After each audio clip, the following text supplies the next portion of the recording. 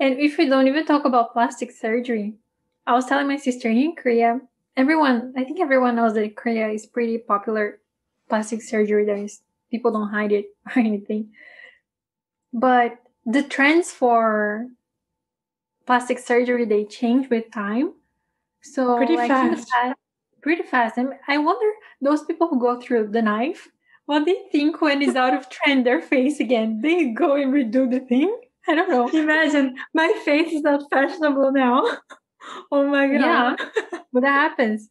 It's like in the past was the V line, so have the face like this, very tiny, and no no jawline for women, no apple of the cheek because I mean in the United States they apply fillers in the cheekbones to make you look like I don't know more.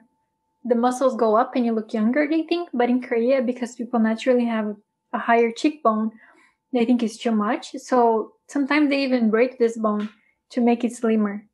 And yeah, so there is like lip filler, and I was telling nose as well, fixing. And I told my sister nowadays they are even doing something to lift the corners of the mouth. It looks like a little cat. And I'm like, interesting. I've never seen this. Never seen this. And there's a double eyelid. You can redo a lot of stuff. A lot of stuff. So, and there's injections for your legs to make them slimmer. So the muscle shrinks. Really? Yeah. Really? Because this calf part here is when it's big, it's ugly.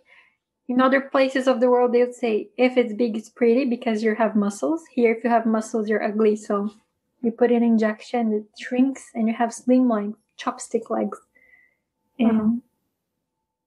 So many different things.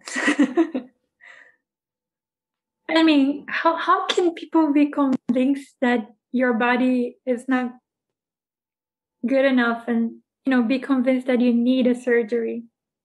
Not because of your health, but because of your beauty. It's really about mm-hmm. self-esteem, I guess. You know, your the whole system and advertisements and all that, they mess up your self-confidence so much that you truly believe that you're ugly and you need this to survive.